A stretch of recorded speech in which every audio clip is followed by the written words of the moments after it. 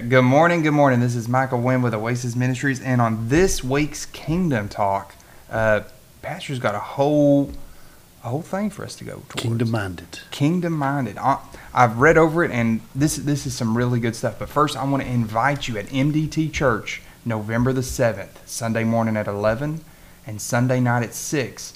We are having Pastors Appreciation. And this year, I'm telling you, it is going to be a celebration. We've got some of the best food we've done. Um, we've got some big surprises in the ceremony for the morning service. Please come out. You don't want to miss this. There's going to be a lot of fellowship, a lot of fun. This coming November the 7th, so that's two weeks. Two weeks. Two, Sundays weeks away, two Sundays away. Come and worship with us. Come and be with us. Come and fellowship and see Pastor. November the 7th. S- Open it up here. Tell, tell us what This, you got for us this is our first meal together in a while. Oh, man, I'm So ready. it's just going to be fun. Just just country cooking. Don't forget to bring desserts. Oh, you better bring some desserts. Yeah. We like pies. We like cakes. Actually, we like desserts. We'll have big cake and ice cream. Oh, my Me and goodness. Babe's, Babe's excited about this one. I love I love Pastor and his congregation, Oasis Ministries. Uh, This church, So- we, we love you, Pastor. I'm telling you, people love you far and wide Little- around here. Little Sheila's in the the backbone of it all. Her and Jesus. Mm-hmm. Hey, people that can't come, I'd sure like to have some notes or a letter. If our life and ministries touch your life, if you can't be at the service, send us some comments or send us a letter. I'd like to hear from folk who our life has touched. That's my encouragement. He, he saves those. He's got these boxes where he gets uh, any of his encouraging letters from the whole ministry. So we've got we've actually made a template, and for people that have been requesting something to write on to send to you, we got you a really nice uh, uh, stationery. There's the word. I'm running slow today. That we can mail That's you. So if you would like that, message us here. Call us at one eight seven seven two two six forty eighty eight, or comment below, and we'll get that to you. Here's what this the Lord's laid this whole series on your heart. This set here, we got so many sets, got more planned. Uh, but this one's kingdom connection, just being part of the kingdom, kingdom minded, the kingdom life.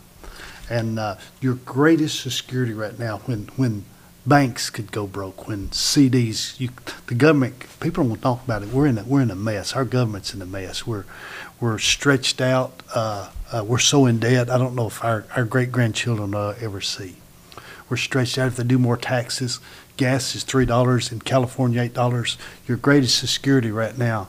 It's not in CDs or DVDs. It's not in, in in all the things you could buy, all the things you could do. It's not in books. It's not in this. Your greatest thing right now is in the kingdom. So you can buy books and read them. You can buy CDs and watch them. You can buy DVDs and try to find answers. Your greatest answer right now is investing in the kingdom. Mm-hmm. And I like this, investing in the, watch this. Wherefore, if God so clothe the grass of the field, which today is and tomorrow is cast to the oven, shall he not much more clothe you, O you of little faith? Friend, he's going to take care of us. Amen. He kept us through World War One, World War Two, the Depression. He's kept us through the Korean War, the Vietnam. He's going to take care of us. I was young, I'm old. I ain't never seen the righteous forsaken. Therefore, take no thought, saith what you shall eat or what you shall drink, whither shall we be clothed. For after all these things do the Gentiles seek. For your heavenly Father knoweth that you have need of these things. But seek ye first the kingdom of God and his righteousness. Seek ye first. If you have a need, if you have a light bill, a phone bill, if you have a sickness, a pain, trouble in your home, your marriage, your children, seek ye first the kingdom of God and his righteousness, and all these things shall be added unto you. Therefore, take therefore no thought for tomorrow, for tomorrow shall take thought for the things of itself. Sufficient unto the day is the evil thereof. To be kingdom minded is a vision beyond your four walls. Amen. I'm gonna cut some of short. We got so much to, to say, but getting here with me, Mike. The kingdom, it's the realm or the region of a country governed by a king. And and Jesus just don't govern Oasis Ministry, Miracle Deliverance Tabernacle. He don't just govern the Baptist and the Church of God and the Assembly of God and the UPC, the Church of our Lord Jesus Christ, and the Methodist, the Presbyterian. He don't just govern that. He he's a governor of the world. And we, we let our little vision be. It's just me and my wall. That's not kingdom minded. In fact, that is selfishness. When all, when, and I know some of it's not going to go for good, but when all you think about, well, I'm going to be a good pastor and I'm going to give my life to everything inside these four walls, you're really no different from the world. Because Wendy's worries about Wendy's, McDonald's worries about McDonald's. Uh, Walmart didn't send out no grief cards when Kmart shut down here. They're not kingdom minded. All they're minded about my store, my four, no less, no more. To be kingdom minded is others.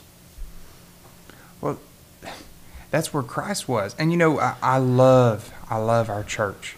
But when you think about it, when we think of the church as a whole, we ain't just thinking of MDT. We're thinking of his place around the world.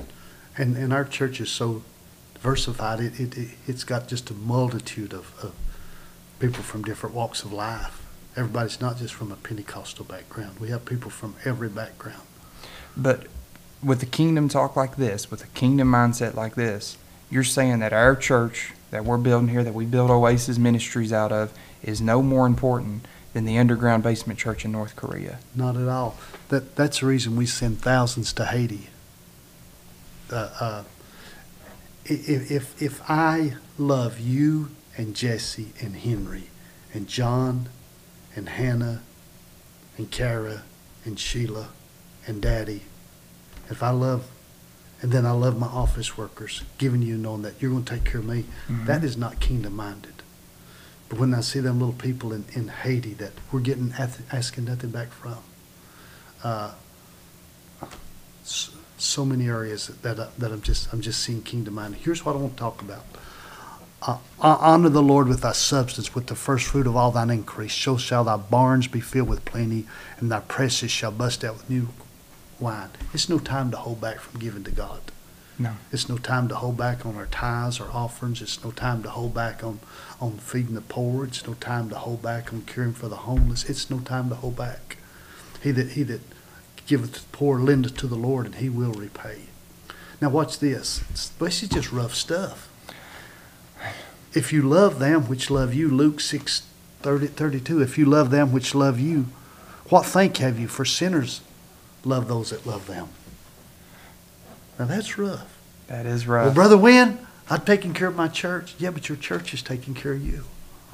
Well, Brother Wynn, I'm taking care of my family. I'm a good daddy. Yeah, but your family's taking care of you. I know somebody now that's just laid their life down for their family, but I can't think of anything they've ever done for anybody else. Nothing. Man. I can't think of one thing they've helped us. Not one thing. But they, they're the best person laid their life down for their family. But I can't think of nothing they've done for somebody else. Is that, that's rough on me. That's tough. So, so we're, we're church minded, we're denominational minded, we're organized minded, but we got to get kingdom minded. So you're talk talk to us more about this. So kingdom is given without expecting return. Can I tell you where? Can I tell you a pretty picture of kingdom? Yeah. And I've never heard this talked about in this phrase. They're they're they're having a, a convention. They're having the uh, they've got the best. They've made they brought the number one speaker in, and he draws a crowd, and uh, the crowd gets there. You know who the speaker was? Who? Jesus. The crowd gets there, and he's took this convention so far out in the woods. There's no market. There's no McDonald's. There's no Hardee's. And one little boy, he's the only only one apparently who realized this this guy's a long-winded preacher. it ain't gonna be no thirty-minute sermon, and he brings his fish and loaves of bread. And the disciples looked at him and said, "You're no benefit to the kingdom. What can what can such little bit do with so many?" Uh huh. And no doubt the child looked at his and said, What benefit can I do to the kingdom? But the child did not think of himself, he thought of others. You want real joy, it's Jesus first, others second, and yourself last. And you know, sometimes it's a chore to lay, lay your life down for your family or your friends, but man, I see a kingdom where we where, where Jesus is loving that thief on the cross, where Jesus is loving that soldier driving nails in his hands, where Jesus is loving the Pilate that's condemning him, and Jesus is loving the guy with the whip in his hand. I see a kingdom. And that and when and now listen to this, and I'm going to get ahead of myself. But when we're not going to see real miracles till we kingdom minded. They marveled. They took up twelve baskets of bread because one lad gave himself to others. He gave everything he had to others. I'm sure one of those baskets went back home with that lad. Hey, you deserve that bit of bread.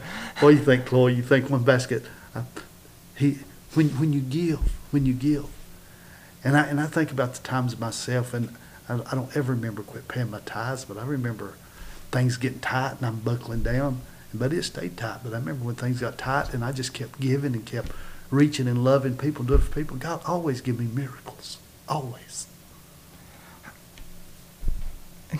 One statement I've heard you say before: God always bless the blessed. And you can watch it and follow it. Uh, it seems like when someone gets at these situations that they just, from the outside, surpass. I, I wonder if some of the people that we look at that seem blessed from the outside, they stay true to tithing, they stay true to commitment, they stay true to their volunteering when times were tough. And they stay true to forgiving. They stay true to loving. They stay true to pray. There's times you get hurt. You don't want to forgive no more. You don't. You don't want to reach no more. You get hurt. mm-hmm. How, how many times have mom and I, baby and I, how many times have we reached and picked somebody up and think, and then six months later they cut your throat, they lie on you, they, they walk away from you, you pour yourself into them, they walk away. If we if we counted those and we we operated in the work of God according to those, I'd have quit a long time ago. But kingdom minded is you, you, you keep sowing no matter what the reaping is from that situation because you know overall God's going to balance things out. That's good. That is good. It, it sounds a lot. Um, people people get scared in their investments because they say, "Well, today something's dropping, something's dropping." When you invest in the gospel, it don't really drop, does it? No, no. So here's what we want to talk about today, and you help, help me find this key to help somebody. Don't just go inside your and and you got to start there. You got to start Jerusalem, let it grow. I am, and I, boy, I, I don't want to be just just just sounding so much about, but I am so honored our work. I have got personal calls, brother Wynn. I'm so proud of Miracle Deliverance Tabernacle. They're checking on my mama. They're checking on my mother-in-law. They're they're checking on. We've we've had a death, and it's not you just, brother Wynn. I've had five calls. I've had five texts. I've had knocks on my doors. It's not just it's not just you pastors. Uh, they brought food to my house. They they brought they've helped me pay a bill. They've helped me. I was getting texts last night. Just in my lowest time, I'm overwhelmed at the grace of God. My needs are being met, and it's through family share. And we'll you and I they'll never tell us. This other person told me. They'll never told me they paid a light bill. They'll never told me. But what they're they're catching, kingdom minded. Mm-hmm. It's not just about taking care of my child. It's not just loving you and caring Jesse. It's not just loving baby. It's, it's loving that, that stranger. It's loving this one. Now, now, now, I'm not going to turn around and let people people take advantage of us. People, there's some people I have never seen the worth, the work ethic so low right now in America, and and and. I, I told Babe last night, I, and I, I helped somebody. I said, "Babe, you know what I just did?" I said, "I poured bucket water in a bucket that don't have no bottom. I said that this person don't care. They're not going to try. But I said I'm not going to let them go hungry. But we got to quit beating ourselves up and pouring ourselves into people that don't want to change somehow. And I know I know people are going to get some hate mail over this, but sometimes you got to throw Jonah overboard and say, Jonah, if you don't want to get right with God, and if you don't want to support your family, and if you don't want to do, you can't keep draining me. I've got to let you go and you work it out with God. You call it tough love. You call it. I just call it kingdom minded. You And I, you got a lot of people watching us just like me and you. They Yeah, work those yeah. 40, 50, 60, and sometimes them 70 hour weeks. And they've given and they've not seen good results from the giving because they gave to people and they done bad things. How do you encourage them not to hang on to just that one time? D- D- Dar- Darrell in, in the Dakotas, who've been so kind to us, he he's he farms like five thousand acres, but he tells me he says there's one hill over there that's covered with rocks. And he said someday I'm going to reclaim that farm, and he said I just go in a little bit and take the rocks out. But if he went in and sowed seed right now, he would waste it, because even if it grew, he couldn't harvest it. So, so at, at 61 years of age, I want to help somebody. I, I plan on making some mission trips. I, I Mhm. got some secret things I prayed about me and you going on some trips, taking our, taking our families. I, I got some plans in my heart. Jesse, you might start working on a passport.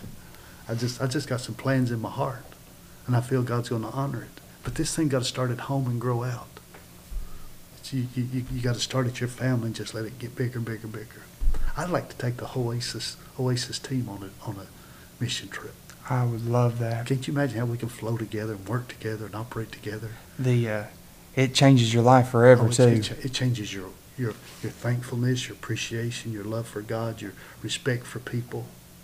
oh, it, it changes. We're we're so blessed in our hardest days. We're so blessed. yes, sir. But got to be kingdom minded. You got to lose this mindset. It's just me and my four, and it's just all about. It's not. It never was all about us.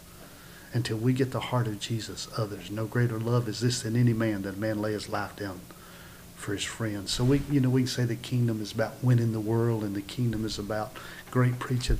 Kingdom's about others. It's about caring for people. Mhm. It's about a king who rules over a kingdom. He just don't rule over a Miracle Deliverance Tabernacle, our 300 folk here. He, he cares about a hurt and lost world out there. Until I catch his vision, I'm not going to have his, his, his favor like I could have it till I catch his vision. When I learn to love, even though I hurt inside. When I see a little child and I can cure his it. You know, when I went to uh, to Haiti and saw those children and come back, it, it just, and I saw if I'm going to love Kara, do everything I can for her and Henry, I'm going to do all I can for those babies. They're orphans. They have no mama. They have no daddy. what you're talking about, it, it's also encouraging me how many people that actually call in and how many partners have exploded for Haiti. You know, they, they don't know those kids' names like me and you do. They didn't get all the hugs, they didn't get to go play with them, they didn't get to kick all the balls, Wow. but they were kingdom minded enough to donate to them. A special thank you to, the, uh, to those who were that kingdom minded to care for people that you may never meet, that you may never go to that orphanage. Thank you for changing their life. Yeah. Well, somebody's watching today. Th- think of a family where their baby don't have new shoes, and your baby's got new shoes.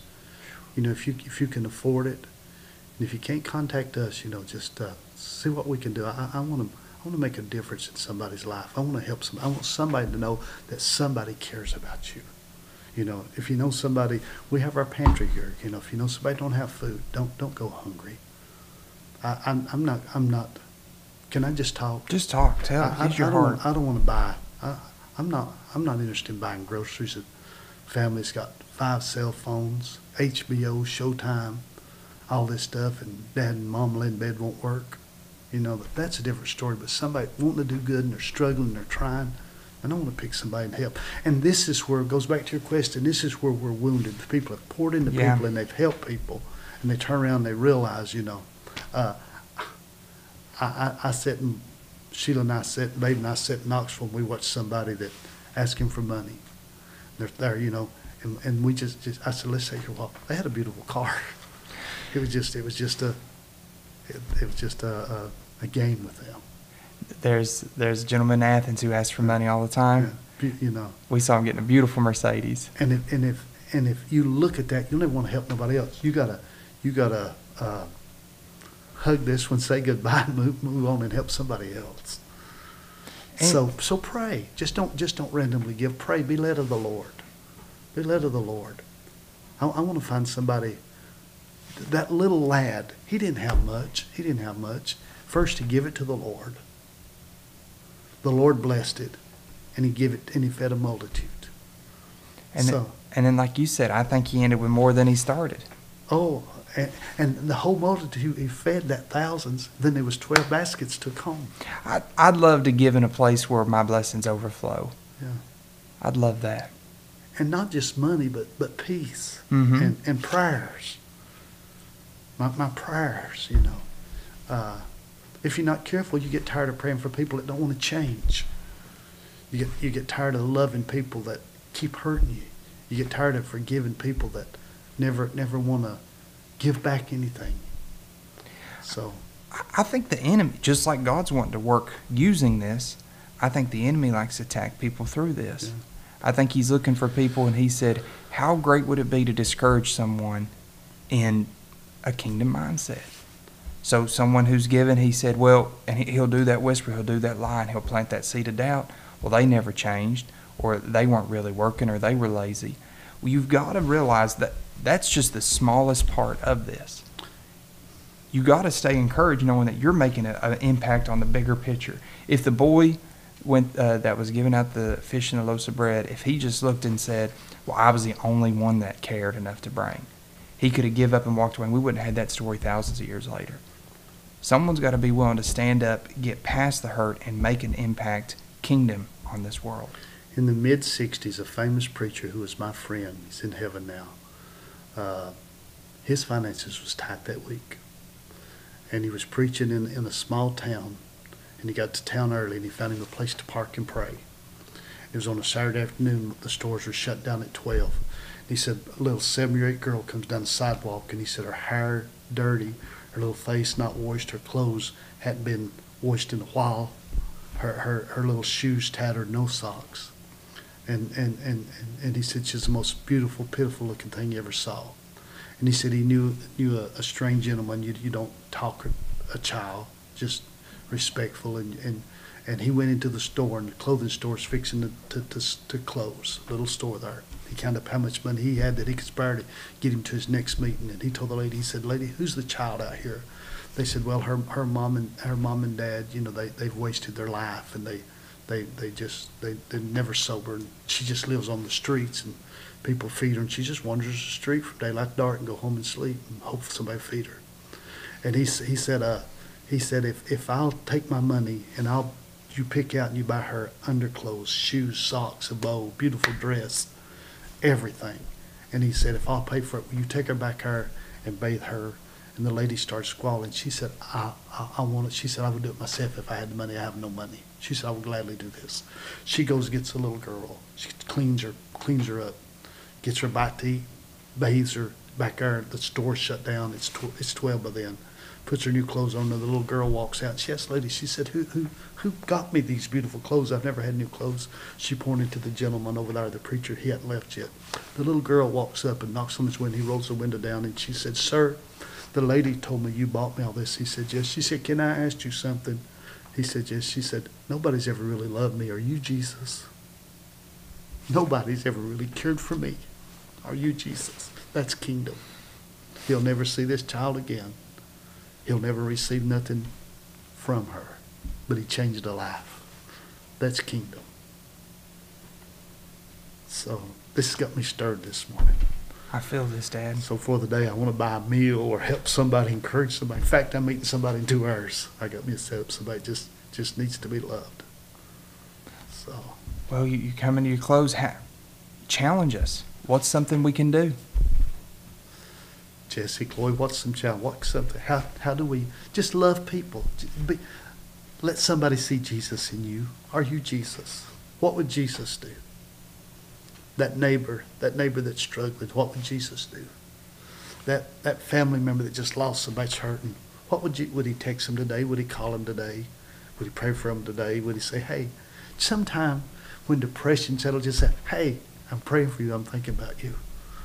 I called a man in uh, another state, a western state I hadn't spoke to in months. Called him at probably 9.30 at night, which is too late to call people. And uh, he answered the phone. He said, hello. And I said, hello. He said, this, who is this? I said, Brother He said, Brother Wynn. He said, he said, I'm just, just so broken. He said, I asked the Lord, I said, would you let Brother Wynn call me? Talk to him much, just, just those kingdom moments. And somebody, God's speaking to you right now, knock on the door send a letter, send a text, send an email, uh, call somebody and ask them, do you, do you have a need?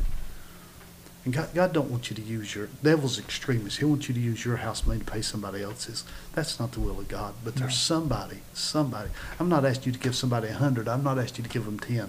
I'm asking you to give them a fish and a loaf. Well, time too. Watch this. Watch this. That fish and a loaf's only going to affect him for one day. So God, God didn't ask for that boy's monthly income, yearly income. He said, this is only going to feed you for one day. Would you give it to me? I have never saw that. What you were saying a second ago, uh, a big challenge to a lot of us is we've become so tight with our time. Oh, no greater love is this to any man that a man lay down his life. One of our most important things right now is our time. A lot of people listening, we have no issue throwing down some money to pay for a meal, buy a kid a toy who ain't got nothing to do and things like that. But when you challenge with our time, it gets a little more difficult. T- tell us how we can get some time some more ways. I love that. Well, if uh, if I can if I can mention a name, Joanne Stevens. She sing, sings in our choir. She she's so anointed. Yeah. Just just got a call. Said said Joanne had made a call to somebody in need and said, Brother Wynn, that phone call turned this person around. Joanne's love turned this person around. Could, could you imagine sacrificing a few minutes of your time following God to change someone's outcome, change someone's situation? Uh, we all were thankful for the moment someone checked on us. Uh, Carmela and Faith just made a visit this weekend. turn, a visit, turn somebody around. These are phone calls I'm getting out, and I, it's got me all excited, just. My just- mind's rolling. I got three calls Yeah. I can make today. Yeah, yeah. Turn somebody around. Uh, Jonathan went to David, to Ziph in the woods, and he lifted up his hands. Now, now Saul's got the pulpit. Saul's the king, but to be kingdom-minded is the next generation. David's the next generation, and, and, and the enemy's not attacking the, this generation, he's attacking the next generation. And Jonathan said, I'm, I'm not going to just strengthen this generation, I'm going to reach and strengthen the next generation before it gets broken. Man. So kingdom minded is not just Abraham minded, it's Abraham, Isaac, and Jacob. Abraham, Isaac, and Jacob. So it's just the, on, on down caring about, not just the one with the microphone, caring about the kingdom. David had no microphone, he had no platform, he's hid in a cave, but he's the next generation. That's kingdom minded. And man, So, Dad, this this is. so uh, what are you gonna, what's, what's your, what's your challenge to you and Jesse? Uh, real talk. Um, I know some people that don't even come here. They they can they can talk on the phone a long time, and you postpone, you postpone. But I'm I'm gonna just call them and encourage them. Lay down some time, set it aside.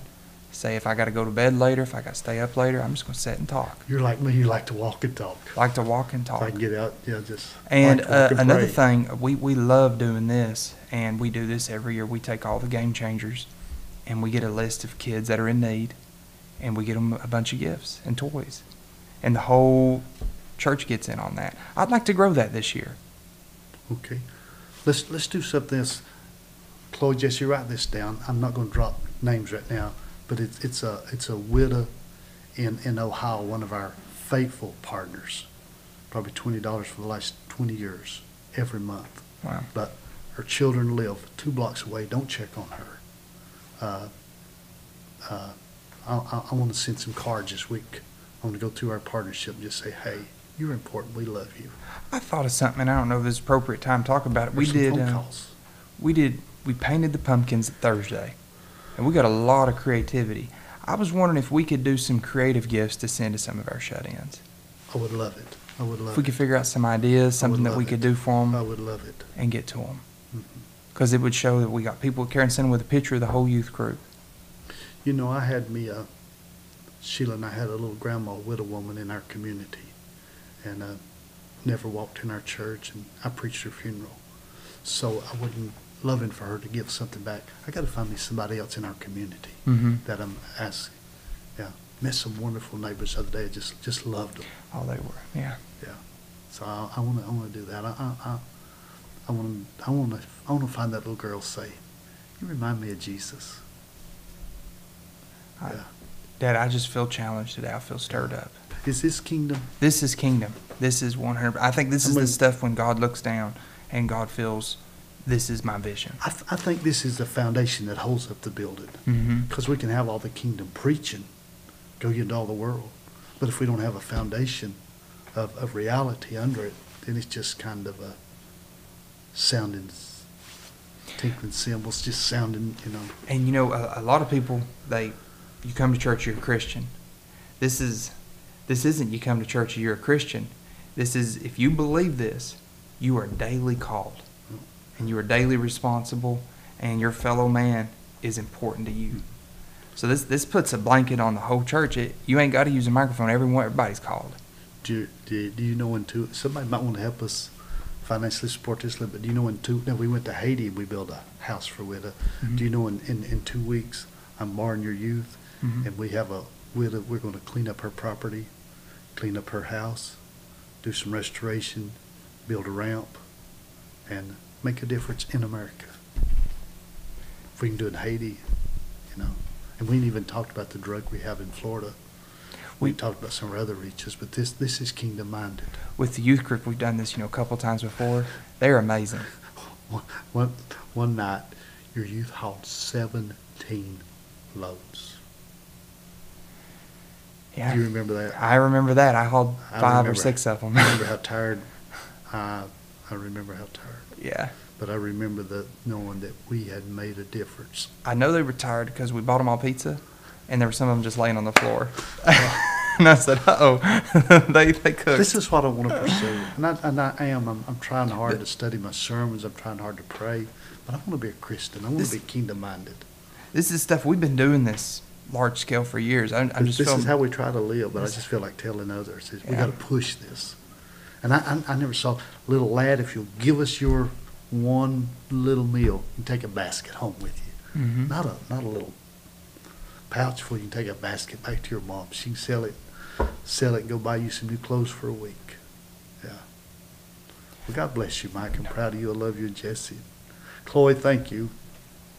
Lady, you got so anointed Sunday morning. You just you sang. It was ten to ten. God bless you. You're at a good place in the Lord. Proud of you. Love you. Jesse, proud of you. Well, I hope the church really enjoyed her. Me and Jesse missed her in Sunday school.